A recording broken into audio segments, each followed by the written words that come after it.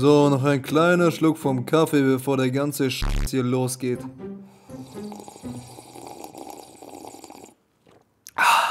Yo, moin, moin, what's Gucci? Ich war gestern beim Friseur und meinte so, yo, yo, Bruder, mach mich mal richtig fresh. Hier hast du Bild, wie du machen sollst. Ja, und dann kam das dabei rum. Korrekt, korrekt. Einmal Seiten auf Mensch. Wie findet ihr meinen neuen Schnitt von 1 bis 10? Also ich feiere ihn. Naja, und damit herzlich willkommen. Schnallt euch bitte an, denn heute zeige ich euch ein paar Leute, die Dinge tun, die einfach nur gestört sind. Und fangen wir direkt an mit dem ersten Kandidaten. Er hat sich aus irgendeinem Grund, wieso auch immer, dazu entschieden, wenn England nicht gegen Brasilien gewinnt, wird er sich alles abrasieren, was er im Gesicht hat. If England don't win, I'll shave my head, eyebrows and beard off. Und ja, England hat halt...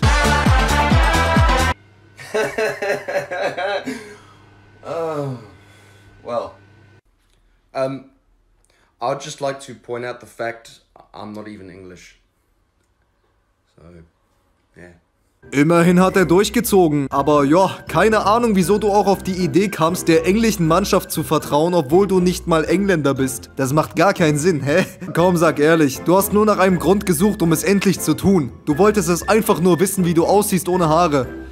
Ja, das sieht absolut gottlos und gruselig aus. Ich hoffe, du hast keine Frau und Kinder oder so. Weil deine Frau, die wird dich verlassen und betrügen in der Zeit, wo du so aussiehst. Und naja, deine Kinder bekommen davon ein Trauma für immer und das war's dann mit der Vater-Sohn-Beziehung. Ja, nee, aber sieht geil aus, ne? Hauptsache, das TikTok ist geglückt.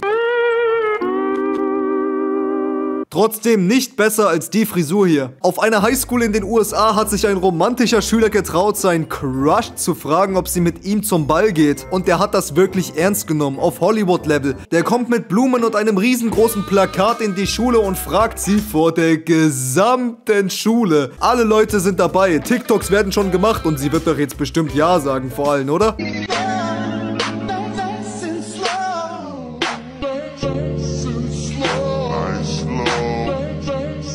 Der wurde auseinandergenommen vor der gesamten Schule. Der wird sich danach nie wieder erholen und ich sage euch, ab heute ist er erstmal krank für drei Wochen. Ciao, ciao. Genau bei diesem Blick, genau in diesem Moment bricht gerade seine komplette Welt zusammen. Oh nein, der Arme, das ist so peinlich vor der gesamten Schule, vor allen Leuten. ne? Der da hinten wusste auch schon, Shit, das war's, Mann. Wir haben dem doch gesagt, das ist keine gute Idee. Wieso hat er das getan? Wieso hat er nicht auf mich gehört? Tja, jetzt haben wir den Salat. Egal, drauf. Versuch's nächste Woche einfach nochmal bei einer anderen mit dem gleichen Trick. Vielleicht klappt es da. Ich habe eine Frage an euch. Wenn Wrestling angeblich fake ist, okay? Wie erklärt ihr dann das?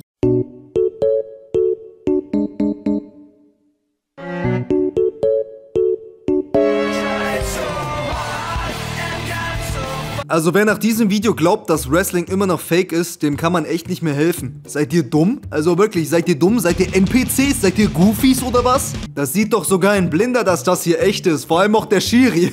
Der Shiri hat sich kurz gedacht, komm, f auf alles, ich mache jetzt mit, ihr Stade. Ich zeig euch jetzt mal, wie das richtig geht. Stark. Wirklich sehr, sehr stark, Mann. Das ist ein Wrestling-Match, wo ich mir sogar denken würde, da würde es sich auch lohnen, Geld zu bezahlen für die Tickets. Das kann man sich echt reinziehen. Ich bin auf dieses Video hier gestoßen von diesem einen Koch. Ihr kennt ihn doch bestimmt alle, der immer so lächelt. Und Hasbullah daneben. Und die ärgern sich so ein bisschen. Vor allem Hasbullah, der kleine Ehrenmann. Der macht bisschen Faxen bei ihm.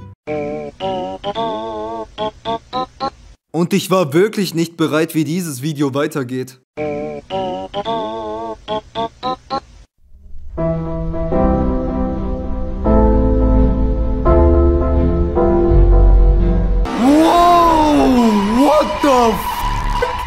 Du Scheiße, damit habe ich echt nicht gerechnet. Der kleine Hasbulla wurde ganz kurz in den Backofen gesteckt und auf 200 Grad gebrutzelt. Und das gab's dann zwei Stunden später von Nusret serviert mit Goldtablett. Ey, ich mache hier nur natürlich Spaß, okay? Falls das noch nicht die Leute gecheckt haben und falls das auch noch nicht der YouTube-Mitarbeiter gerade realisiert hat, dass das nicht echt ist. Hier nochmal eine finale Message. Das war nicht echt, okay? Das ist ein lustiges, sarkastisches Video. Alles klar, nur mit Humor, als ob der kleine Hasbulla da jetzt in den Ofen wandert. Come on. Als würde das wirklich passieren. Alles gut. Hasbulla geht's gut. Seht ihr? Hier ist ein aktuelles Bild von ihm. Ihm geht's gut, okay? Wisst ihr, es gibt so drei Arten von Leuten auf einem Konzert. Die ersten sind so die, die gehen einfach da rein, um alles zu zerstören, ja? Die gehen dort rein und lassen ihre kompletten Dämonen raus. Ich bin auch so ein Type davon. Ich weiß noch, UFO-Konzert, ich mit meinen Jungs, wir sind da reingegangen. Wir haben unsere Seele dort gelassen, ja? Wir sind nass und dreckig wieder rausgegangen. Ich erinnere mich sogar noch daran zurück, Mann. Das war so gottlos, ne? Ich war da so in der Menge mit meinen Jungs, ne? Und ich hatte halt, ja, wie es sein soll, ein Bubatz in der Hand. Der Moshpit geht auf, wir springen alle rein und ich weiß noch neben mir so ein 16-jähriger Junge vielleicht.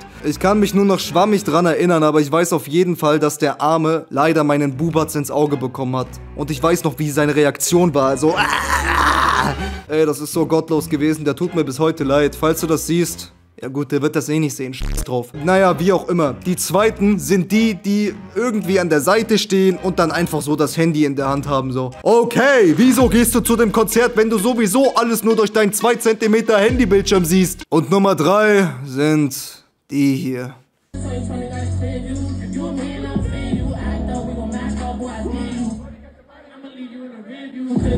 Oder das ist so cringe, ne?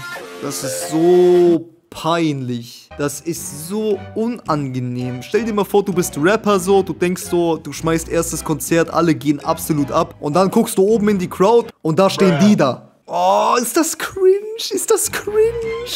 Ich hasse diese Leute. Ich hasse diese TikTok-Jungs, die alles für Aufmerksamkeit machen und keinen Moment genießen können, ohne ihr Handy rauszuholen und erstmal TikTok zu machen. Sowas sollte verboten werden bei Konzerten. Real Talk, das sind die unangenehmsten. Das sind wirklich die unangenehmsten. Das sind nicht nur die unangenehmsten Konzertgänger, das sind auch noch die unangenehmsten TikToker-Jungs, die es auf der Welt gibt. Zum Glück musste ich das finale Video nicht sehen. Ich glaube, das hätte ich nicht verkraftet. Right Chicken in the Washing Machine? Ey, ich lese nur diesen Titel und frage mich, was erwartet mich jetzt? Bruh, they cooking chicken in the wash machine? What the fuck? Bruh! Ey, bitte halt doch dein Maul. Halt deine Fresse! Der macht nicht wirklich Chicken in der Waschmaschine! Oh mein Gott, was ist das hier für ein Video? Heute werden mir wirklich final zum Beginn des Wochenendes alle Gehirnzellen geraubt. Einfach so, paff, weg. Da kann ich mich jetzt schön am Wochenende erstmal resetten. Und ich frage mich ernsthaft, welcher Mensch wird das noch essen? So wie das dort auf dem Tisch aussieht, wurde heute wirklich alles dort in der Waschmaschine zubereitet. Ja, viel Spaß mit den Krankheiten danach zu leben. Geil. Ist das hier wirklich passiert? Fragezeichen, Fragezeichen, Fragezeichen, Fragezeichen.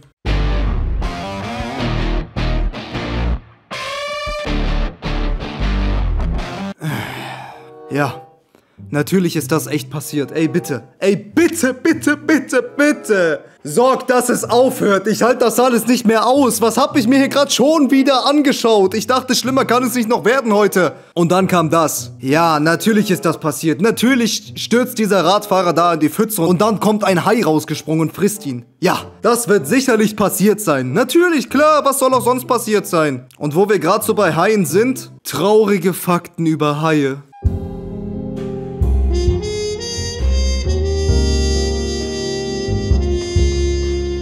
Sie können kein Fortnite spielen. Ey, nee. Ich. Nee, Bruder, ich kann das nicht mehr. Das Video muss aufhören, bitte. Bitte, wann hört es endlich auf? Das ist mir schon klar, dass Haie kein Fortnite spielen können. Ja, das ist echt traurig. Sehr, sehr traurig. Einmal bitte ein dickes F an die Haie, dass die kein Fortnite spielen können. Ich sag dir ehrlich, zum Glück. Ansonsten würden da auch solche kleinen Haie-Fortnite-Kiddies ausrasten, weil sie keine V-Bucks bekommen. Ey, was laber ich hier eigentlich gerade? Das macht doch alles gar keinen Sinn. Würfel dein Date von 1 bis 6. Oh nein, ich habe jetzt schon die Befürchtung, dass das gleich unglaublich unangenehm wird. Würfel dein Date von 1 bis 6. Bist du dabei? Ja. Nein, ich bin nicht dabei. Wen von den Boys findest du gut? Schau mal. Der hat gar keinen Bock mitzumachen, ich sehe das jetzt schon.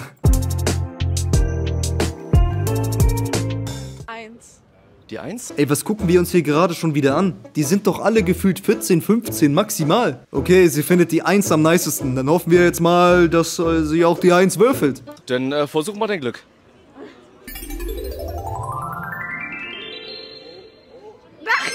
Ja, egal. Ja, egal. Die dachte sich so, oh, Scheiße, den wollte ich gar nicht. Aber komm, Scheiß drauf, nehme ich den jetzt einfach. Okay, dann einmal die 5 nach vorne. So, was geht? Was geht ab, Bauter? Was geht da? Was muss ich jetzt hier machen? Dein Name ist? Ole. Wie findest du die nette Dame? Äh, von 1 bis 10 oder wie? Mach einfach. Äh, ja, ist ein 7, 8. Du hast jetzt die Möglichkeit, du kriegst 10 Euro Ja. oder du gehst mit ihr auf ein Date. Wie entscheidest du dich? Ja, ich nehme die 10 Euro. Boah, Businessman. Gar kein Bock auf irgendwelche Liebesfaxen. Der kümmert sich nur um das Business. Ein echter Macher. Warum die 10 Euro? Ich kenne sie und sie äh, hatte schon was mit einem Kumpel von mir. Ey, wie? Die hatte schon was mit einem Kumpel. Chillt doch mal. Ihr seid doch gerade mal 14. Was geht denn da schon wieder für Filme ab? Berlin Tag und Nacht einfach. Was sagst du dazu? Best Stress. Dann kriegst du einmal die 10 Euro. Schnapp dir nochmal den Würfel. So, dann würfel nochmal und versuch nochmal dein Glück. Oh, sie kann noch mal würfeln. Boah, vielleicht kommt jetzt die 1. Komm schon, jetzt muss doch die 1 kommen. Okay.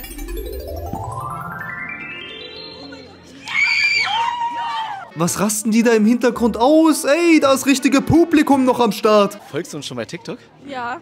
Ja, sie folgt uns. Zeig mal in die Kamera. Dein Name ist? Johannes. Johannes, pass auf, Johannes. 10 Euro? Ich kann das alles nicht ernst nehmen. Vor allem, weil ich auch ganz genau weiß, dass der Einzige, der davon profitiert, einfach er hier ist. Dieser Typ weiß ganz genau, dass es gut ankommt, wenn man irgendwelche jungen Leute nimmt, die sich blamieren dann vor laufender Kamera. Eigentlich ist er der Ekelhafte hier. Wenn du jetzt mit ihr auf ein Date gehst. Nee. Nee? Okay, dann gibt's für dich einmal 10 Euro. Folgt mit den Jungs und Team Jensch. Folgt mit den Jungs und Team. Das kann doch alles nicht wahr sein hier. Was ist denn mit unserer Welt passiert? Ich check's nicht. Ich würde hier gerade wirklich etwas dazu sagen, wenn mir was einfallen würde, aber ja, ich habe keine Ahnung. Ich check's einfach nicht, ja? Mir fällt nichts dazu ein. Ich kann keinen Kommentar dazu abgeben. At the age of 80, I decided to become a young Pamela Anderson. Okay, also diese gute alte Frau wird jetzt verwandelt in eine Pamela Anderson mit so einem richtigen Make-up-Studio. Ich bin gespannt, mal schauen.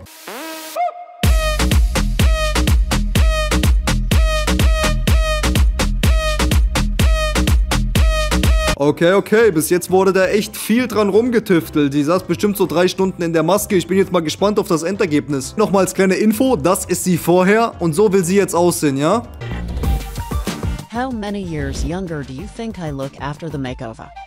Ah, was ist das denn? Ach du Scheiße, Bro, das war Jumpscare. Wo war die Warnung? Eigentlich müssen die doch eine Warnung ausgeben, dass man sich gleich erschrecken wird. Wer auch immer dafür verantwortlich ist, du hast reingeschissen. Ich fand, sie sah vorher besser aus. Heilige Scheiße, und was muss sich der Mann denken? Das sieht aus wie eine Horrorfigur. Ich muss das Video jetzt beenden, ansonsten schieße ich mir in die Hosen. Ciao.